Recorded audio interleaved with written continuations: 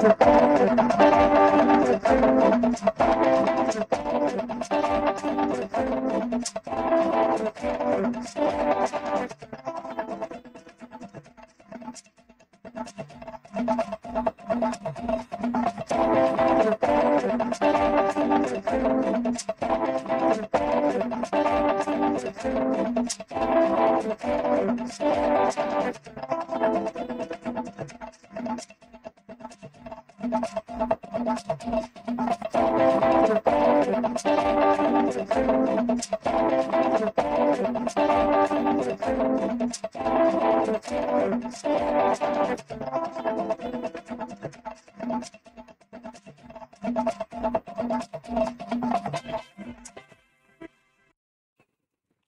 good evening, and welcome to Nationwide. I am Kene Ima Abudike. President Muhammadu Buhari has left Abuja for South Korea to participate in the first World Bio Summit in Seoul. The summit, jointly organized by the Republic of Korea and the World Health Organization, has as its theme the future of vaccine and biohealth. The president was seen off at the Nnamdi Azikiwe International Airport by his chief of staff, Professor Ibrahim Gambari, FCT Minister Mohamed Musa Bello, Director General DSS Yusuf Magaji Bichi, and other top government officials. Nigeria will be at the Seoul summit with five other African countries which were selected by the World Health Organization and the European Union during the last EU African summit in Brussels, Belgium. The summit was held in February this year for mRNA technology transfer and global training hub for biomanufacturing of vaccines on the African continent. Also expected to feature at the World Bio Summit are CEOs of global vaccine and biologics companies who will share and shape ideas on the future of vaccines and biohealth. According to the organizers, global health security profoundly depends on innovation and development in the bio industry. The summit is therefore part of deliberate attempts to launch international stage efforts on the nature and of creativity and innovation required to contain any future health pandemic. President Buhari is expected to deliver Nigeria's national statement at the summit and thereafter hold bilateral talks with President Yoon Suk Yeol of the Republic of Korea. Chinese President Xi Jinping has been elected for a third five-year term as General Secretary of the Chinese Communist Party, CCP. The 20th Congress of the Communist Party in China concluded on Saturday, where a new committee was inaugurated. Following his election, the Chinese president said the world needs China, just as his country cannot develop without the world adding that after more than 40 years of unflagging efforts towards reform and opening up, China has curated two miracles, rapid economic development and long-term social stability. The new committee of the party includes 205 members, with women making up only 5.36% of the total. China's Congress is one of the most important events in China's political life, during which the results of the last five years are summed up and the plans for the country's future are drawn up. It is held once every five years. Now, the supporters of the All Progressives Congress presidential candidate APC Asiwaju Bola Ahmed Tinubu and governorship candidate in Delta State Ovie Omo-Agege have embarked on a million-man march in solidarity support for their candidature ahead of the 2023 general election. Tacey Coker covered the exercise in Warri. It was a huge crowd of supporters at the oil city of Warri. They are here in their numbers to pledge their support for Tinubu and Omo Agege. Like a carnival of sorts, they occupy the major streets in the city. The participants say they are sending a strong message to those who believe the APC has no political structure to win elections in Delta State come 2023. They that uh, that uh, there's no APC in Delta State and you can see the mammoth crowd all over the place because they have seen the antecedent that come 2023 they will display for Nigerians by voting Tinubu and they will display their for Delta State. Music in its full blare, the group marched through major streets displaying placards with messages relating to the 2023 general elections. Their destination is the Petroleum Training Institute Center, where the organizers address the crowd. We are here on our own volition. Nobody convinces us Once a candidate has been made, in fact, it is the responsibility of anybody to choose any style within the confines of the law to work for him. So this one million man march is voluntary activity. And this is just testing the microphone. It's not a borrow crowd. We did not borrow any crowd. We want a new government. We want a new Delta. We want to build from where They are hoping to mobilize more people to come out and vote for APC as Asaba Delta State Capital is next to host the rally. Warri, Tessie, Focus, and News. Labour Party presidential candidate Peter Obi has appealed to the federal government and the international community to swing into action and intervene in the current flood situation that has devastated almost all parts of Bayelsa State. The presidential hopeful was on a sympathy visit to the state to assess the level of devastation caused by the flood when he visited the internally displaced persons camp at Oxbow Lake, Yenagoa. Fred Owefie reports. Cries of Bayelsans have not gone unheard as the nation and indeed the international community are now well abreast with the situation of the flood which has taken the dimension of a disaster. Presidential candidate of the Labour Party, Peter Obi, who was on a sympathy visit to the government and people of the state, encouraged and assured them that they are not alone in this trying time of their lives. It is important to remember those not everything is why Nigeria, that's why we cannot continue campaigning in adversity. Bayelsa State Governor Senator Douye Diri called for partnership with the federal government for a lasting solution to the perennial flooding challenge in his state. As I go around, Your Excellency, visiting my people, I can see the light that comes into them. I can see the inspiration that comes into them. At the Oxbow Lake Internal Displaced Persons Camp, flood victims were elated to see the presidential candidate of the Labour Party, Peter Obi, in company of the state governor to sympathize with them. Fred Owefie, NTA News. Yoruba community and the Federal Capital Territory have declared support for the All Progressives Congress presidential candidate Senator Bola Ahmed Tinubu and his running mate Senator Kashim Shettima. They were at the APC presidential campaign office to pledge support and prayers for success of the presidential candidate and all APC candidates for 2023 general election.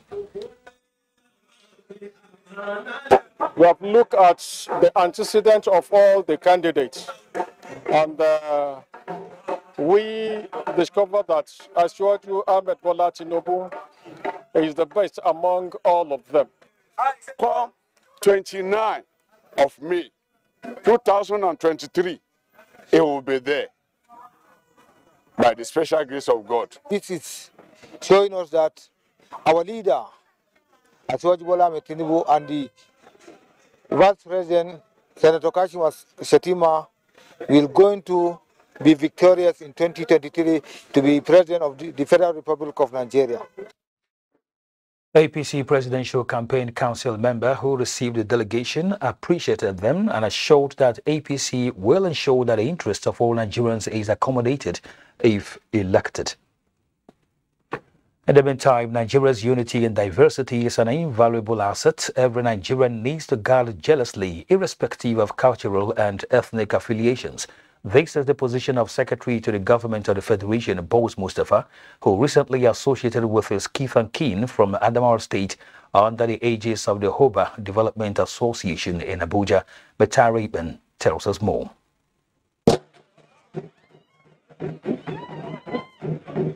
Cultural display by Hoba indigents in Abuja, creating a feeling of home away from home.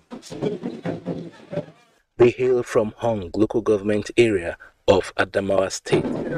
With a rich history and tradition, the mountainous community has produced many distinguished public servants and eminent Nigerians. One of them is the Secretary to the Government of the Federation, Boss Mustapha, who uses this forum to admonish his people and indeed Nigerians on the need to cherish education. And I don't want us to lose that because this is what is keeping us where we are. And that is what is going to inform the future tra- trajectory of our community. How many of our people are skilled? How many of our people are properly empowered uh, for the generation of enterprise, business, and wealth? The growing influence of the Hoba Development Association Abuja is encouraging a bond with friends and associates from other cultures. I am a member of this community and a proud one at that.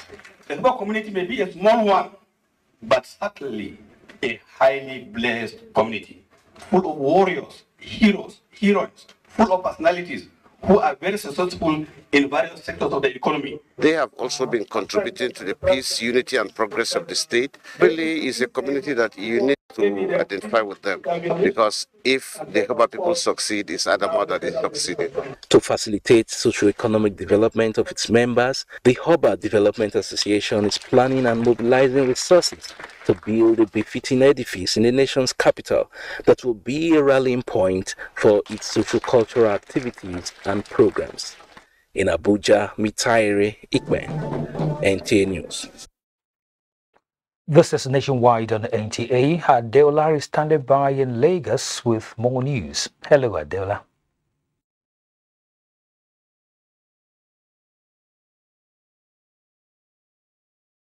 Hello, Kenny. Increase in government spending in an environment that cannot absorb the money in circulation through adequate production of goods and services often leads to inflation. In this report, Adeniyi Taiwo takes a look at how this macroeconomic imbalance can be better addressed by the financial and productive sector in Nigeria. At the moment, one of the major economic issues in the world is rising inflation, its impact on purchasing power, and burgeoning cost of consumer goods. Not immune to certain global realities, Nigeria, with its huge dependence on imported goods and services, is caught up in the current global economic crisis, with inflation rate hitting a new height of 20.52% in August 2022, according to the National Bureau of Statistics. My questions here is that actually what's been happening on the way they manage the macroeconomy with the multiple exchange rates, with some of the other issues, you know, it could have been much better. And I think the question you may want to ask is why didn't anyone take the important choices in the economies of adjusting, of correcting the, the distortions in the macroeconomy? reiterating its call on the bank to sustain its tight prudential regime. While government is busy with other monetary policies to show up the numbers, experts say it is time for the nation to leverage its large market to push the non-oil sector promotion drive of the federal government. What we need to consider is how to evolve wealth creation. That's really what we must focus a lot on.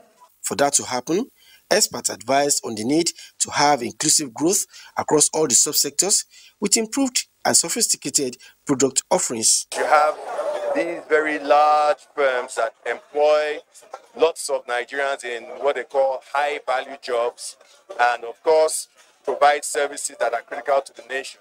They're also connected to every other company, every other government entity that actually wants to improve itself and perform competitively. With the introduction of State of Enterprise Report, business leaders say it is time to address the fallout of policies that have created distortions in the microeconomy. In Lagos, Adeniyi Taiwo, NT News. 150 Nigerians are benefiting from the United States Digital Skills Support Program. Lynn Lenaka reports that five-week training has commenced in Lagos for the beneficiaries.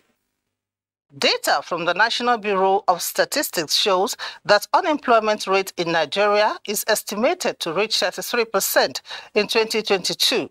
This figure was projected to translate in 32.5% in 2021. Such projections are worrying. However, a group of professionals in collaboration with the United States Consulate are looking to turn the challenges into opportunities by organizing series of training to equip Nigerian youths with digital skills within the technology space. Because we recognize the immense talent that is present in Nigeria, especially amongst its youth. So we are committed to investing in the youth of Nigeria, especially in the STEM fields. 150 young Nigerians have been selected to undergo training in cinematography, web design, and computer engineering. I plan to make use of these things to inspire others and also train others. It's going to give me a deeper insight of what I'm to expect in the, in the theoretical aspects. The five weeks capacity building also seek to ensure gender parity and provide women the opportunity to contribute to creating sustainable and economic prosperity for Nigeria. Technical field is basically for male, and that is not what we want at this point. So we want to change the narrative and make tell the world that female gender can actually participate. Into the youths, we want them to see reasons why they don't need to spend too much. We can do the big thing with the little understanding you have about laptop. Participants are expected to be today's change makers with their innovation through inventions, creativity, and integrated STEM development. In Lagos, Lynn Lenake, NTA News. And that's all from the Center of Excellence. Time now for a break, after which Nationwide will continue with a smile in Sokoto. But do not forget to follow this news broadcast live on our website at nta.ng slash live and on our other verified social media handles displayed on the screen for updates. To stay on.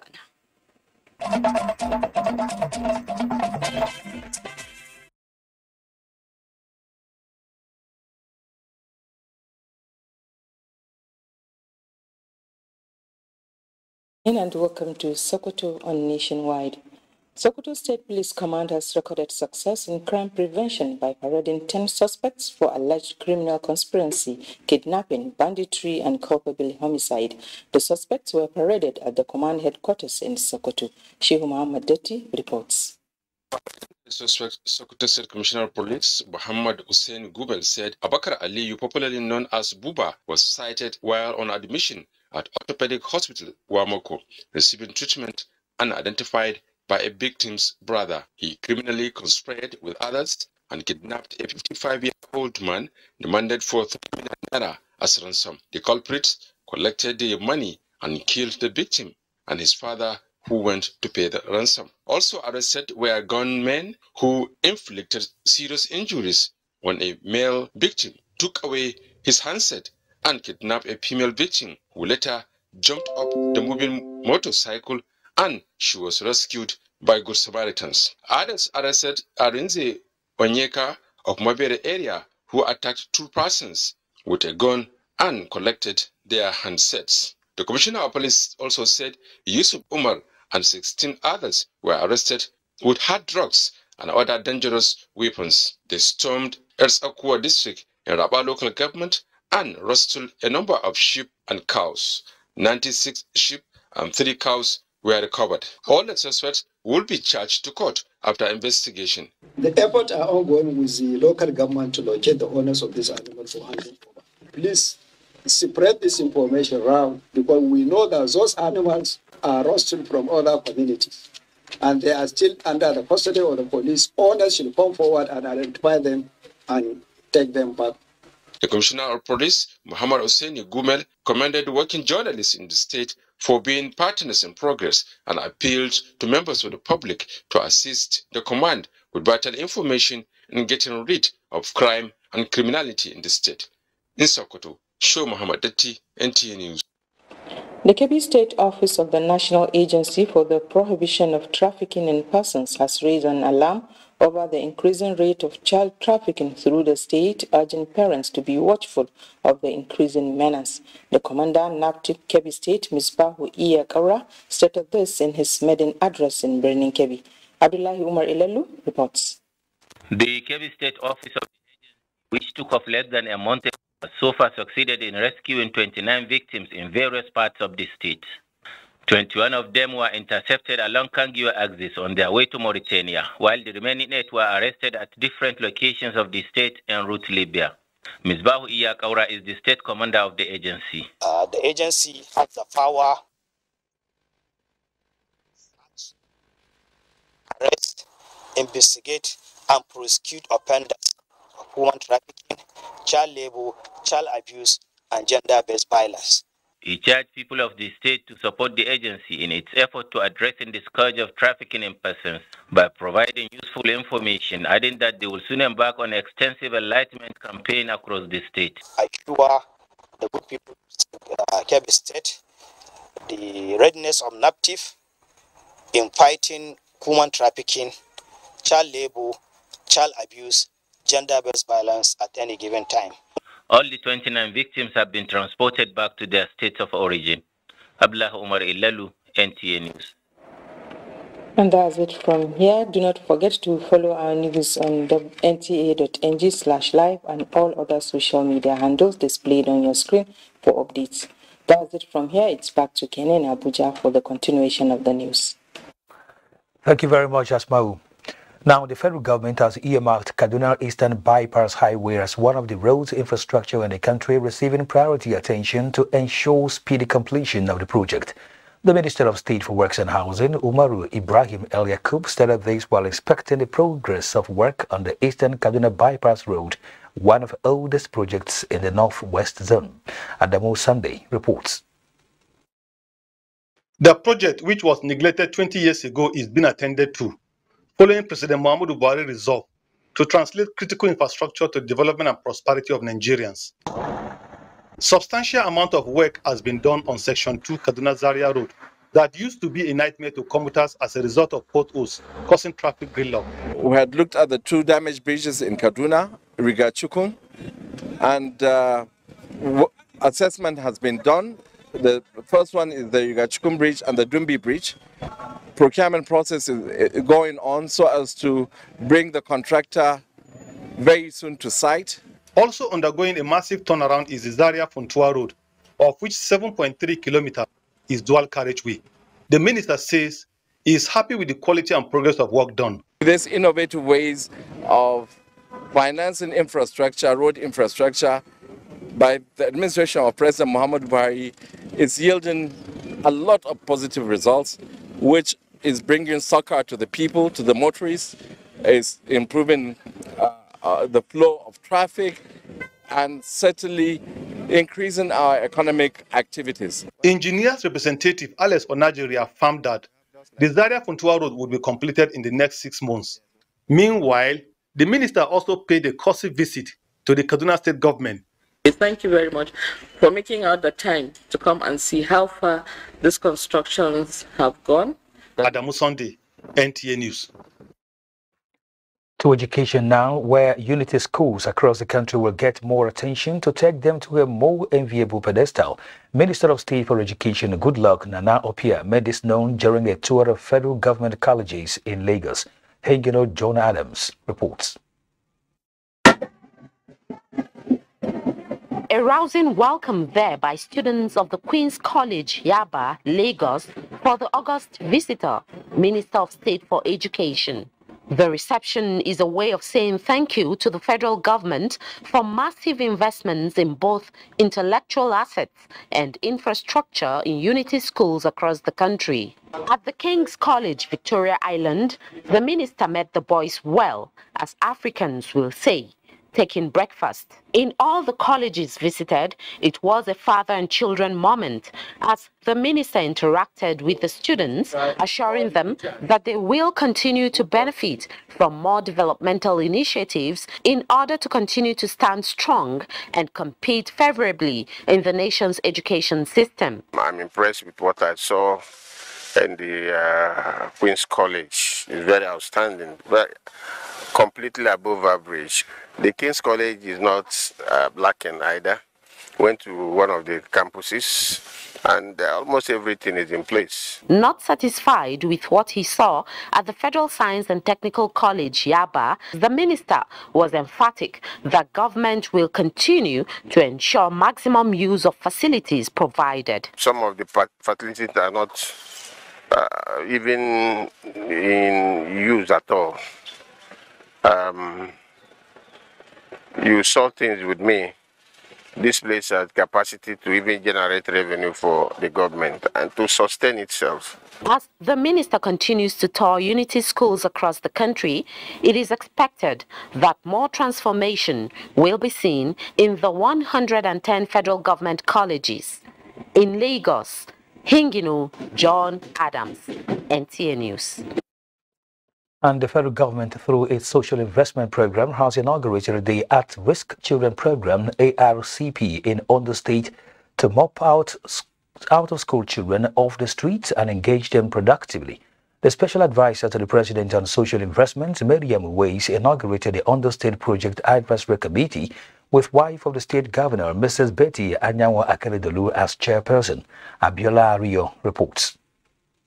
The federal government's At-Risk Children Program, ACP, in collaboration with Ondo State government, seeks support for vulnerable and at-risk children and youths by providing succor for young people below age 24. It's also important to share skills even for those who don't have skills. It's important, I have found in many places that what attracts a lot of parents, especially in rural areas, is to have to combine skills with education.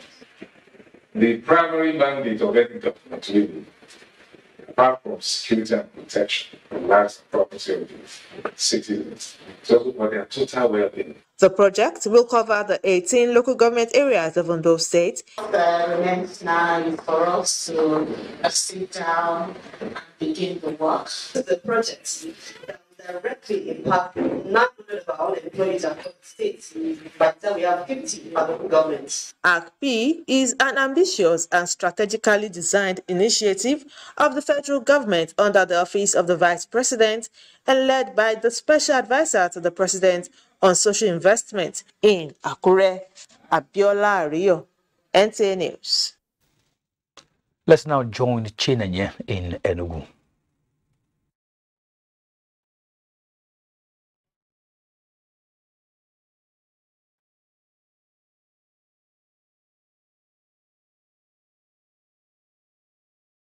Is said to be the smallest unit of the society, and that is why the Anglican Archbishop of Enugu Ecclesiastical Province and Bishop of Enugu Diocese, Most Reverend Emmanuel Chukwuma, wants couples to uphold Christ's teaching on the nature of marriage, raise godly children, and lead a Christian family life worthy of emulation.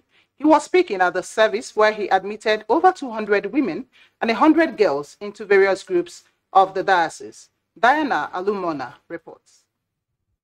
Putting these girls and women into the groups, most Reverend Chukwuma reminded them of the objective of the Girls Guild, which among others is to provide a unique opportunity for the girls to learn how to keep themselves pure in heart, mind and body, and to teach them the way of discipleship through Bible reading, prayer and devotion.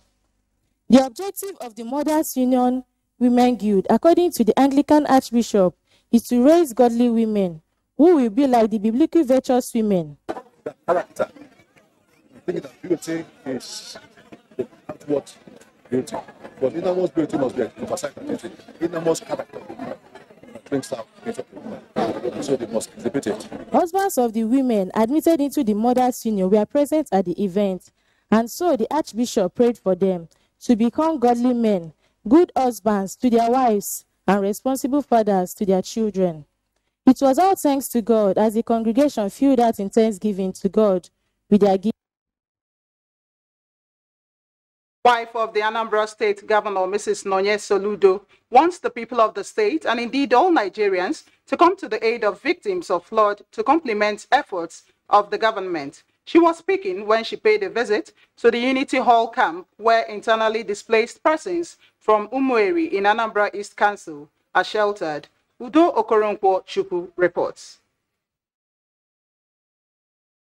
The IDP camp is one of the camps in Anambra East local government area with 1,750 displaced persons received by the State Commissioner for Health and officials of the WHO and UNICEF.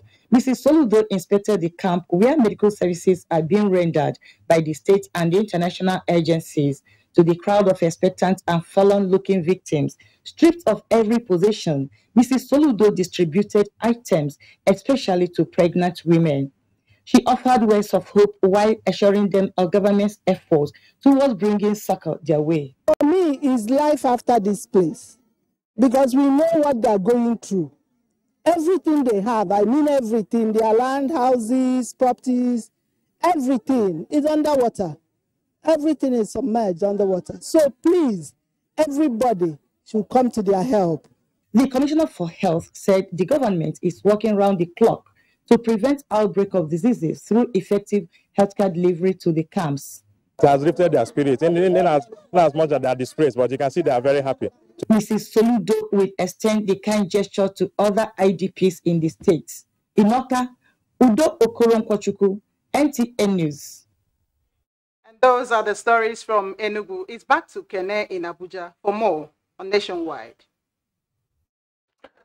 Watching nationwide on the NTA, it's time for break. Jerry.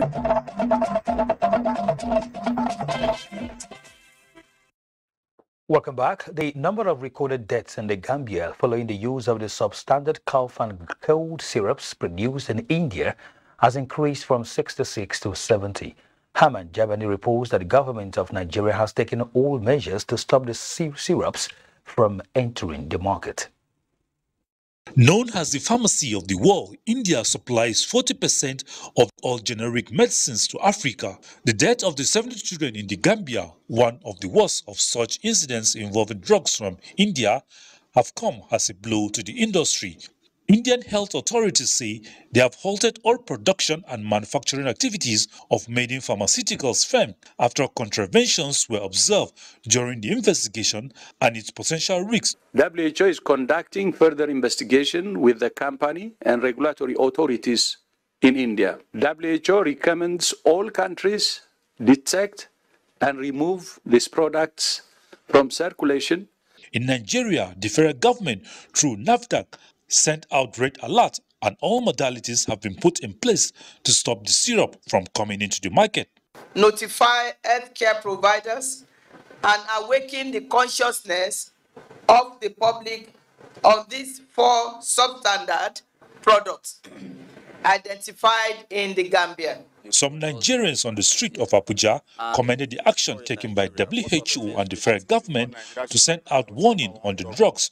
The government of Nigeria and uh, NAFDAC SF should go to India and try to see and make sure that whatever drugs they are producing there that was supposed to be shipped into Nigeria, uh, it should be stopped and they should look into it carefully. In this form, if there's any drugs I need to do, I have to go to hospital to make sure I meet the right doctor to help me to check, help me check if this drug is fit for me or my children. So I think we should be careful with whatever drugs we take. The hospital gives drugs that meet the NAFDAC standard. As of now, the drugs are all in, in the Gambia. Hamman Jabani, NTA News. And still talking health, in 2020, Nigeria was certified polio-free by the World Health Organization and efforts to sustain this status must not regress for the country to achieve a healthier future for mothers and children, which is the focus of the 2022 World Polio Day. Rotary International District 9125, as always, is taking the lead in ensuring Nigeria's success story is not marred. Uche Ugochukwu reports. Just two doses of polio vaccine at birth would have prevented Nena Alauko from being in this wheelchair. Not deterred by her physical deformity, she lends her voice to ensure no child is again affected by polio virus in Nigeria, as well as advocates for more conducive environment for polio survivors. We don't have access to health, health care. Also, education, many of us are graduates, because they see that we are polio, polio survivors, they don't employ. They think that polio affected everything, but polio affected only my leg, but my brain, my mind and brain is working.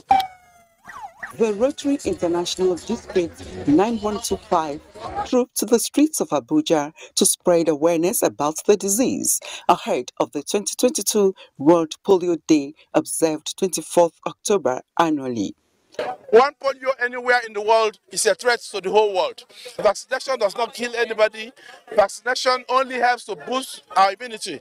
Polio virus is a vaccine preventable crippling disease that is transmitted through contaminated water, food, or contact with an infected person. And the symptoms are very non-specific in the sense that they'll just come down with headache, fever, stomach pain, very non-specific things, diarrhea, sometimes vomiting. Two to five days later, that will wear off. But in very severe cases, few percentage of them will end up with meningitis or paralysis.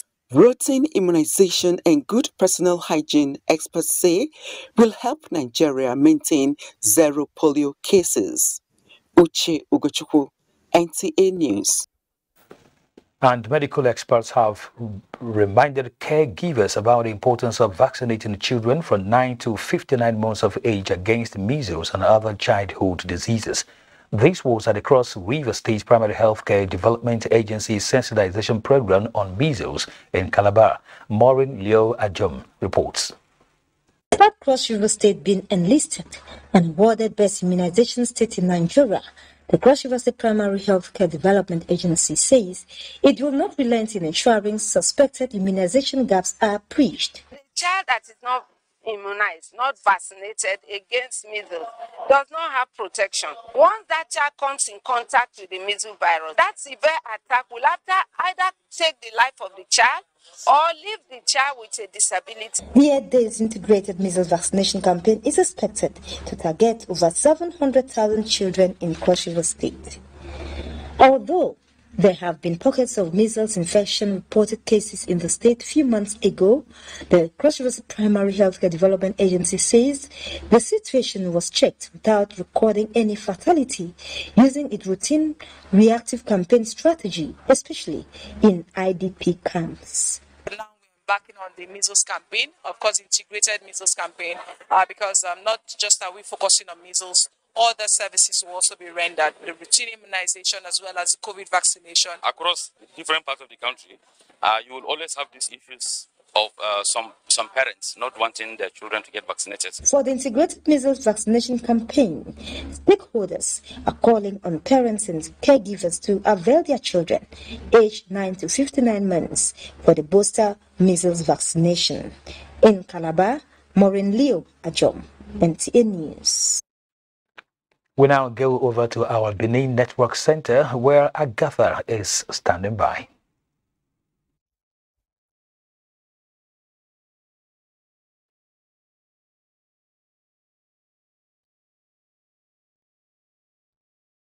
Thank you, Kene. A warm welcome to Benin.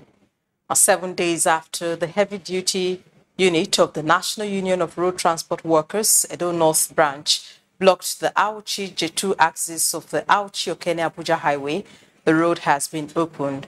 Now, this followed outcome of the meeting of the Otaro of Auchi with the Federal Controller of Works in Edo State and Drivers Union this morning. Victor John Archer reports that the federal government representative made a commitment to embark on palliative work immediately.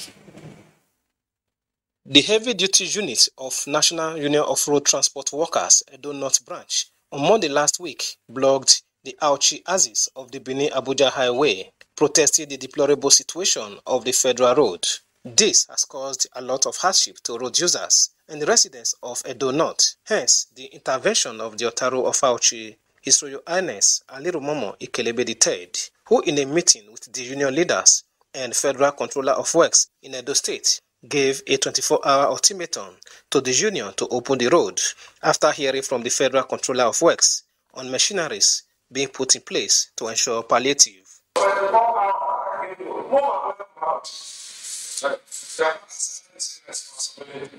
The Federal Controller of Works in Edo State said both the federal and state governments have not been resting on the failure of some portions of the road. The issue of the blockage has been resolved.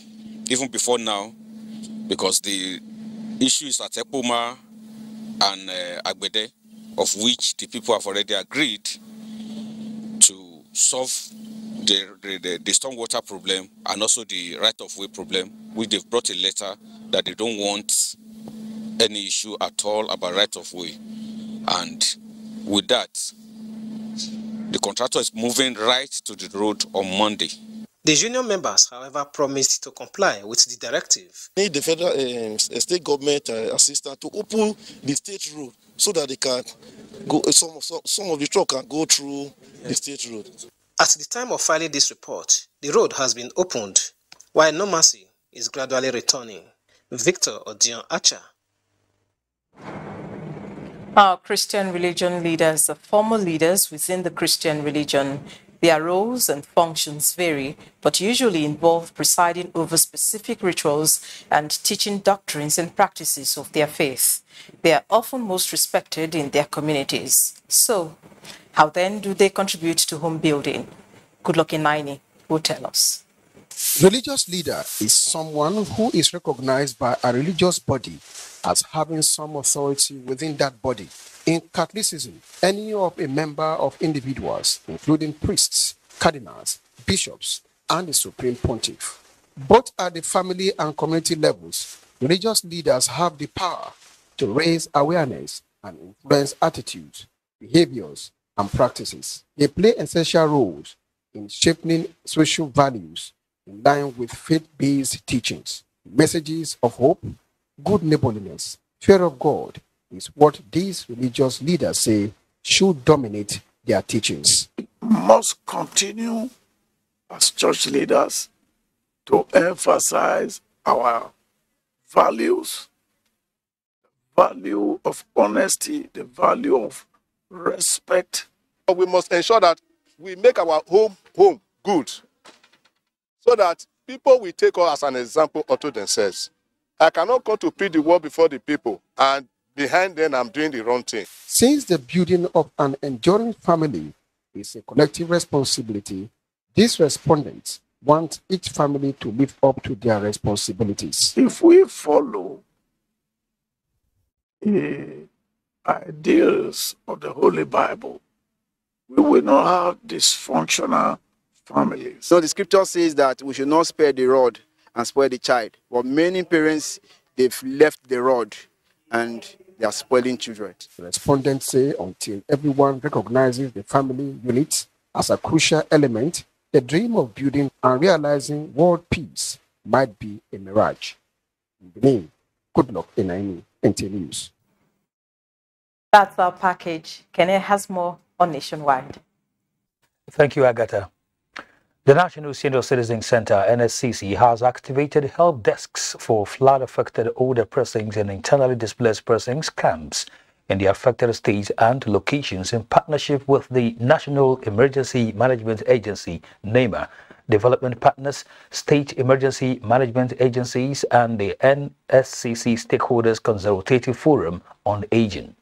In a statement by Head, Corporate Affairs, Media and Communications, Ominiodeng, the NSCC Director General, Dr. Emem Omokaro, says the decision is necessitated by the high proportion of older casualties in the affected areas and the vulnerability of older women and men in such situations in the affected states of the Federation.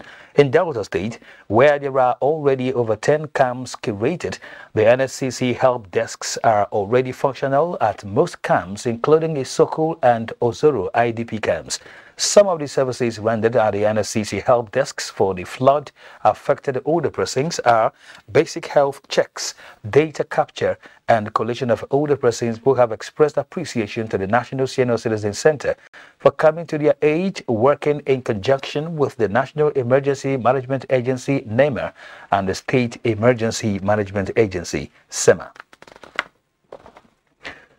The management of the Hydroelectric Power Producing Areas Development Commission, HYPADEC, has reached out to the victims of boat mishap in Gbara, a community in Mokwa local government area of Niger State. Fatima Usman reports that 200 pieces of life jackets were presented to the community with financial assistance to those affected by the disaster.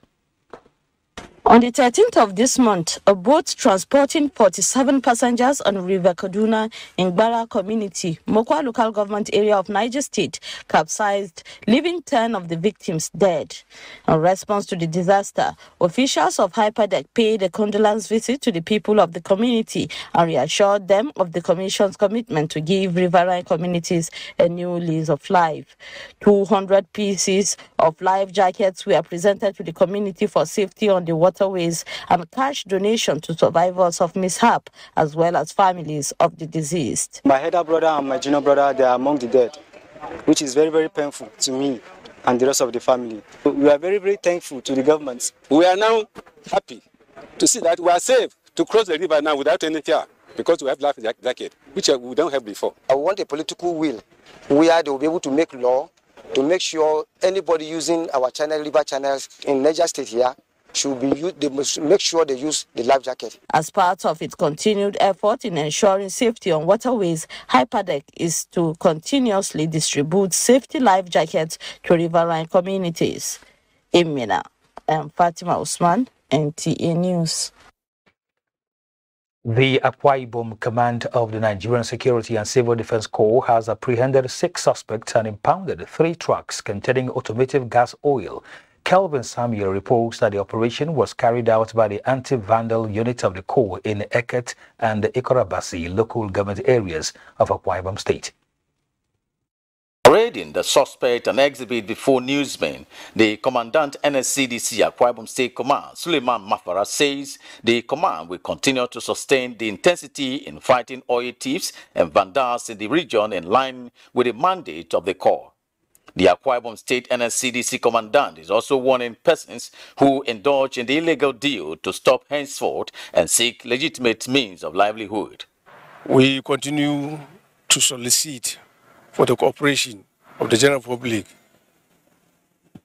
so that we can justify the competence which the federal government and the entire Nigerians reposes on NSCDC. The total of 90,000 liters of automotive gas oil, three trucks, six suspects, and other exhibits are presently in the custody of the NSCDC awaiting further investigation and possible prosecution. In Uyo, Kevin Samuel, NTA News. The escape of convicts from custodial centers while serving conventional jail term constitutes a serious breach of peace and social order.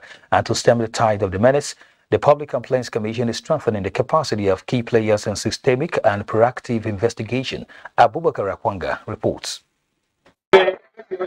Gory images from July 5, 2022 Kuje Custodial Center attacks and other separate explosion and heavy gunfire across similar centers in part of the country is necessitating this strategic session and as part of its mandate to promote social justice, the Public Complaint Commission is bringing key players to the table to review strategies and enhance capacity of frontline agencies. Prisons are over congested. So that's why you that's why you can have all these jailbreaks. If they all if they have enough, they can handle the, the people in the prison. We want to have the double walls, not just single walls, so that the attack there will be difficult.